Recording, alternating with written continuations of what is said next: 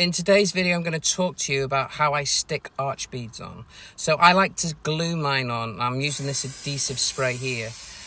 I'm just spraying now the area I want to stick the bead onto two or three times and then you need to leave it for a minute for it to go tacky. And then you want to spray your bead,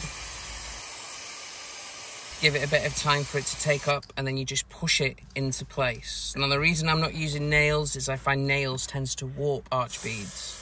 I also like to give it a little extra spray just to make sure that it stays in nicely. But then you're really good to go to get it all skimmed. And voila, here you go. It's all done. Don't forget to like and subscribe for more videos for plastering tips.